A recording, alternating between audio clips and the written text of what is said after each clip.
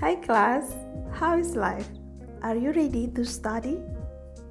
Okay, bring your heart and soul, be ready with your books and pen, and of course, let's pray first.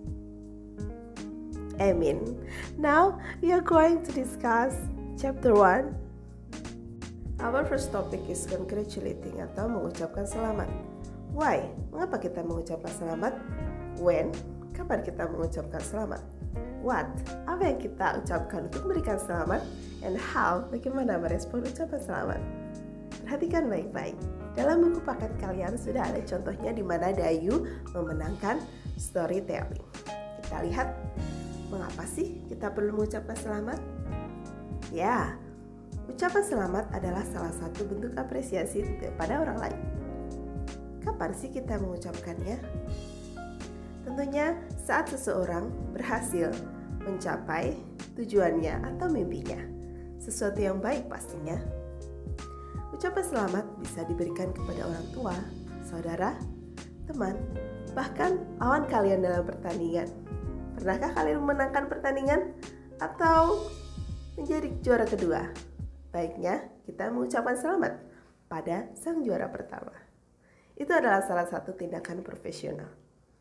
Kemudian, bagaimana sih caranya mengucapkan selamat? Ada beberapa contoh yang paling gampang adalah ucapan Congratulations on your success. I'd like to congratulate you on your success. Yang paling terakhir adalah informal. Seperti dengan teman. Congrats on your success, mate. Bagaimana jika kalian diberikan ucapan selamat? Jangan lupa ucapkan thank you. Bagaimana? Mudah bukan? Mudah dan gratis. Selamat mencoba.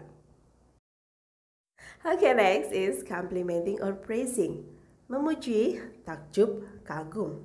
Saya yakin kalian pastinya sering memuji, takjub, kagum akan seseorang ataupun sesuatu.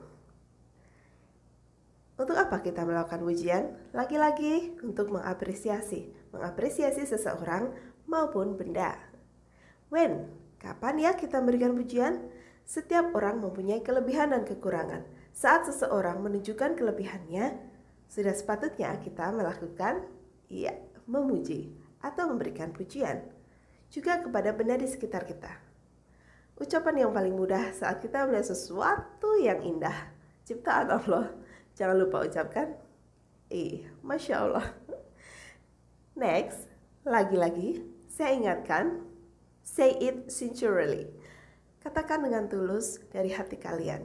Jangan hanya sekedar memuji di bibir, tapi tidak dengan hati. Hanya manis di bibir, hmm, pahit di hati. Seperti itu.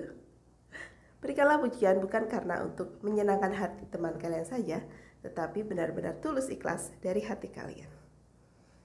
What? Apa sih yang kalian sampaikan sebagai ungkapan pujian? Paling gampang ada di exclamative. Kalian sering mendengar kata awesome, amazing, superb, good job. Ada juga berbentuk kalimat How beautiful you are. She looks pretty with this gown. He's a smart student. I like your new haircut. Jadi pastinya sesuatu yang baik yang kita puji. Dalam memberikan pujian, biasanya kita menggunakan exclamatory sentence. Ada dua cara menggunakan what dan how seperti yang kalian lihat dalam tabel. Namun hal terpenting yang ingin saya tegaskan di sini dalam memuji dan memberi ucapan selamat adalah pilihlah kalimat yang tulus dari hati kalian, ucapkan dengan tulus, saya yakin itu akan sangat mudah. Vocabulary-nya hanya untuk membantu, selebihnya yang utama adalah hati kalian. Bagaimana? Mudah bukan? Mari kita coba.